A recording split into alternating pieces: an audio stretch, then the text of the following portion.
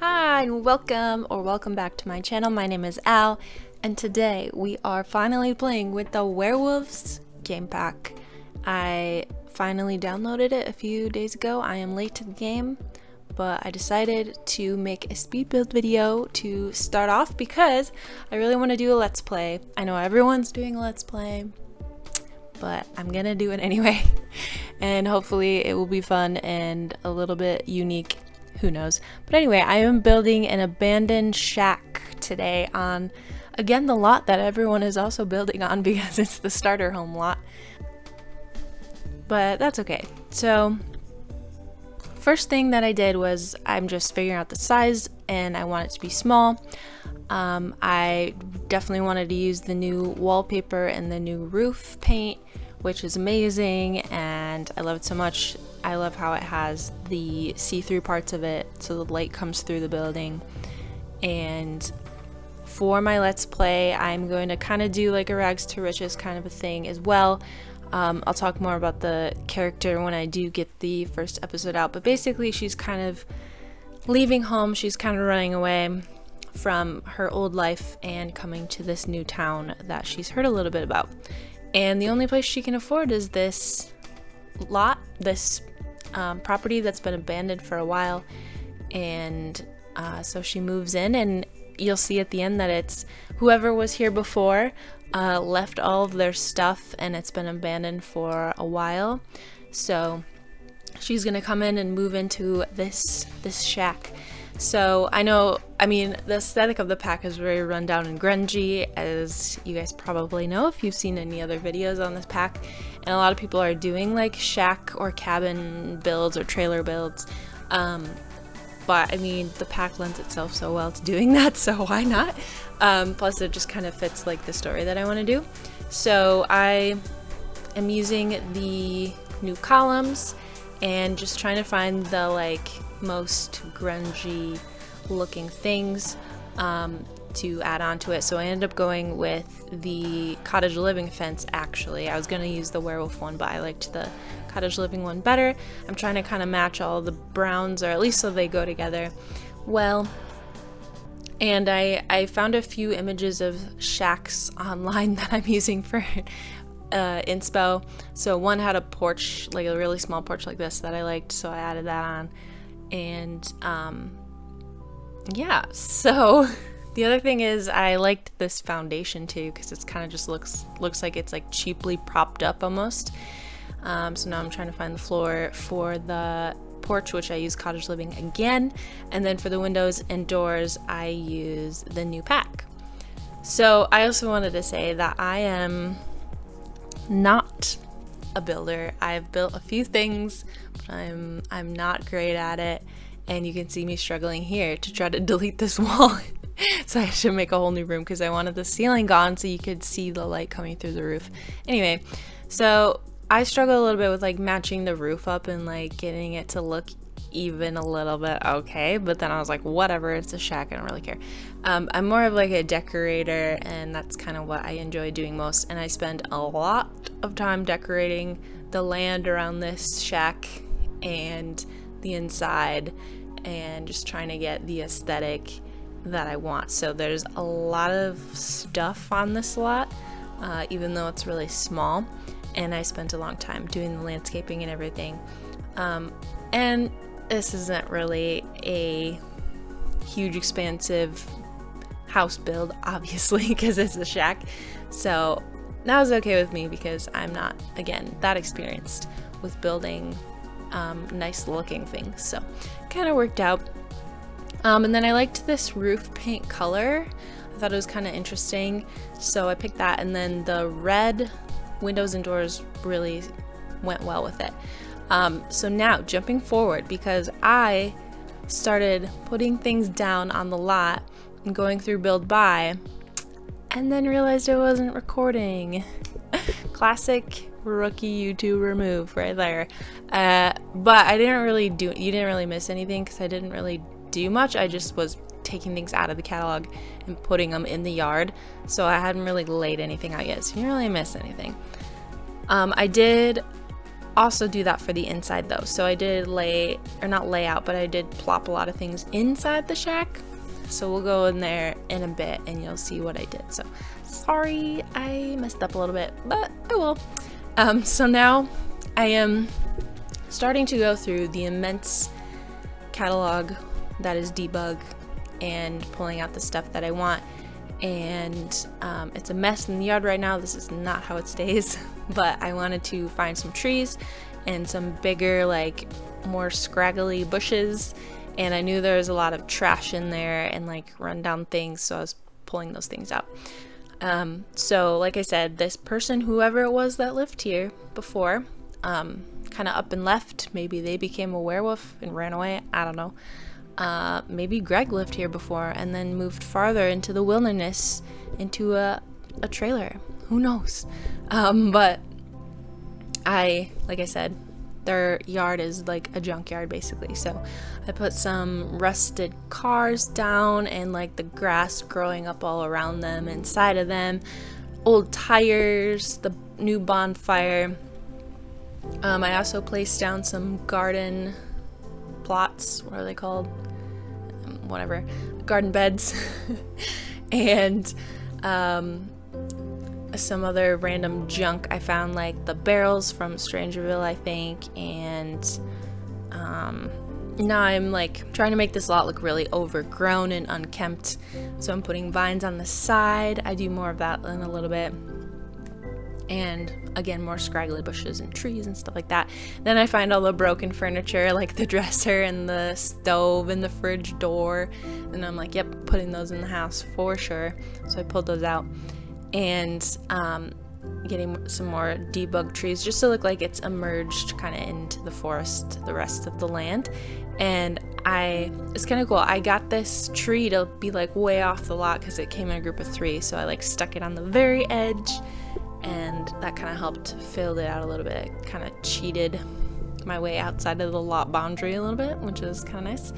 And these things from Cottage Living, these little like tufts of flowers and stuff are so nice to like kind of just get a random looking yard and because they're so spread out so I put some of those down more little grass tufts from cottage living.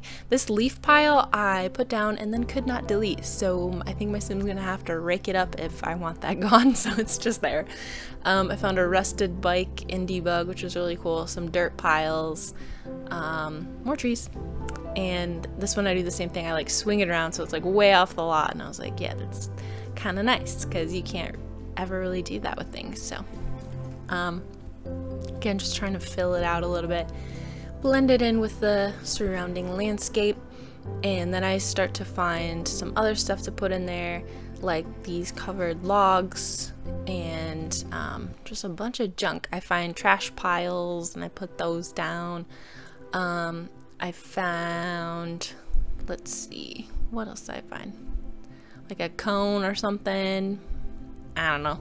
Um, the other thing that I did use was a CC pack, a very small CC pack by Ravasheen, I think. It's like the Rags to Riches starter kit or fabulously filthy or something like that where it comes with like a broken fridge that's functional like a mattress bed um, like a compost toilet and stuff like that so i thought those things would definitely be left in the house and those things would make more sense than a very nice looking fridge like we have in game. So I did download that and used that CC pack for this, but I believe that's the only CC that I ended up using in this build. The rest is debug and just regular game stuff. So yeah. Um, now I'm doing some more landscaping. I just, I went crazy on trying to find little like patches of grass and bushes and mushrooms and like all this stuff to kind of blend out the landscaping and I took a long time on that. It was fun, but I definitely took a long time. Um, the fence in the front is also debug. I believe the fence is actually from the werewolf pack debug, and so I kind of put that broken fence around like it had fallen down over the years. No one was repairing it. Um, you can kind of see the inside, and I'll I'll show you that in a second. Um, so I kind of did do the layout on the inside, but I will show you that again. I'm sorry. um, I did find this other broken fence from Pets, Pets, Cats and Dogs um, debug as well that I just put a piece of it in the back. I don't know. I'm just really trying to find random stuff. Now I'm putting these flowers all around, just again trying to blend out the landscaping. Nothing super fun here. Um, oh, I found a few dead plants in build buy or debug and put those on the porch like someone just left those there. There's a bee box. Um, of course not full right now. When my character gets in there she might put some bees. Okay, so now we're inside. So, um, sorry if this is going too fast by the way, but I didn't want it, want it to be too long. Um, so I have this fridge, that's CC, and then everything else is um, debug, like the, the stove and the fridge door and stuff. And then I thought that she would maybe have brought a pillow from wherever she came from before. And so I put that there. Oh, there is a couple more pieces of CC. Dang. Okay, well, this little TV tray is actually from the Animal Crossing game that someone made into CC. It's so cute. So I just put a couple more pieces of CC. I think actually the fireplace is also CC because that was the only one that looked like semi-rusted. So I put that in there. And then the table is also CC from the Ravasheen pack. Um, and then I, of course, put the new curtains up on the window. Like, again, someone just left those there. Um, everything's disgusting in here. There's trash left in here. Run down bathroom, and everything's disgusting. So now, as you can see, I kind of laid out everything already. Um, I'm changing the colors of some things. I'm indecisive about the flooring and the walls, but I keep them as they are.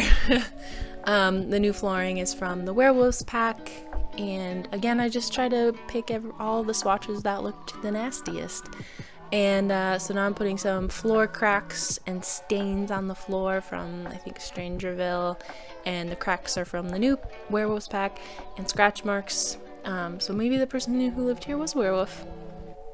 Um, and then the uh, spider webs are from vampires and some of those things I'm putting on the wall right now the rips and tears are from vampires pack as well again I just I like went ham on making this nasty. so more scratches, more cracks, more rips and gouges and things just to gross it up. Um, that cracked mirror, I used the cracked mirror from the Werewolves pack, but then the smaller one is also from the Ravasheen CC pack. Um, the crate and the table are from there. The pizza box is from that pack. The cardboard thing on the floor is from that pack. So a lot of good stuff in that pack for a rundown abandoned build like I was trying to do.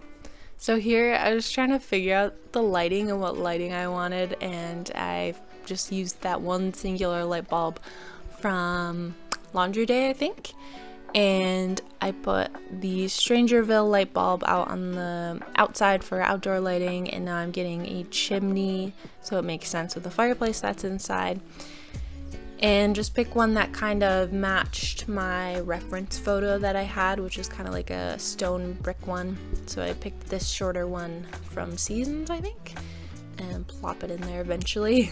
Again, I'm like really indecisive about building things and swatches and everything, so I take forever. Um, and now I'm going to, again, take forever on putting more vines and ivy growing up the side of the house all the way around, again, like it was not looked after. So I used a couple of pieces of ivy from Debug, and then I think the rest are from Vampires. So I was gonna use the Cottage Living ones, but I kind of liked the dead vines and the Vampires back, so I like combined the dead ones and the alive ones from that pack and kind of just trying to blend them together and wrap it around the house a little bit. So again, it just looks overgrown and not taken care of. And then the last thing I do is the terrain tool and I do some terrain paint. So the new pack came with this pine needle kind of texture which was really cool. So I start with that and I kind of make like a little path to the house because I, I knew that like there wouldn't be any fancy stone or anything leading up to this cabin shack. So I just did like a dirt path and then to kind of blend everything out I go in with I think just like the normal dirt and put that underneath most of the bushes and the objects because I'm assuming that they've been there for a long time, just killing the grass. Oh yeah, and there's that bathtub outside too. and that uh, grill pit right there is also from the CC pack. So the debug stove, I am assuming, is not functional. So she's gonna have to cook outside when she gets there. So poor her. Um, but yeah, so I'm just killing the grass on the lot right now. And uh, I think we are coming up to screenshots. So I hope you enjoyed watching me build and I will talk more about my character that's gonna move in here and my let's play very soon. So please consider subscribing, giving a like, leaving a comment if you liked the video and see you later. Bye!